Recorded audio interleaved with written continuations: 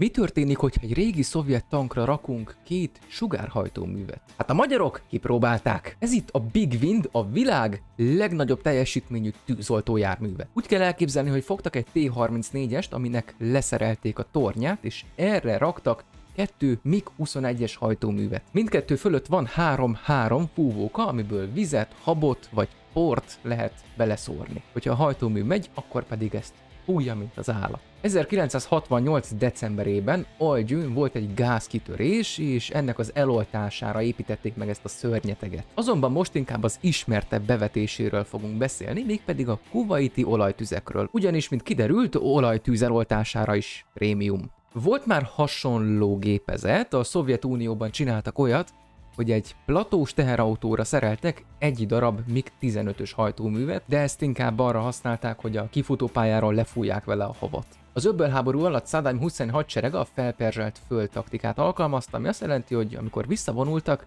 mindent felgyújtottak maguk után. És hát Kuwaitban az olajkutakat gyújtották fel. Több mint 700 olajkút égett 30 napon keresztül, az egész világ azon dolgozott, hogy ezt a poklot megfékezze. Naponta több mint 6 millió hordónyi olaj égett el, és a lángok körülbelül olyan 90 méter magasak voltak. Maga a tűz több mint 900 fokos volt, és ez a körülötte lévő levegőt is felmelegítette, és nem nagyon lehetett közel kerülni a tűzhöz, hogy eloltsák, mert környezetében is több mint 300 fok volt. De az olajtüzet egyébként sem túl könnyű eloltani, szóval hogyha sikerült is közel kerülni, akkor még eléggé komoly volt a feladat. De szerencsére a magyarok eljutották a Big Windet Kuwaitba, és a nem több mint három fős személyzettel kilenc olajkutat oltottak el. Manapság úgy gondolják, hogy a magyar csapat volt az, aki a leghatékonyabb tudott lenni, és nemzetközi szinten is hatalmas híre van ennek az eseménynek. De napjainkban mi a helyzet ezzel a szerkezettel?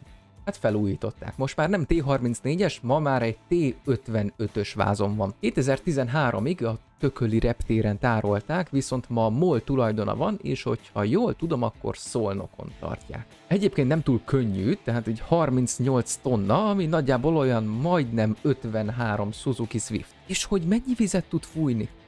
Percenként 6000 liter. Szer 2, mivel ugye két hajtómű van rajta. Tud még fújni habot, nehéz habot vagy port. Porból másodpercenként 40 kilót.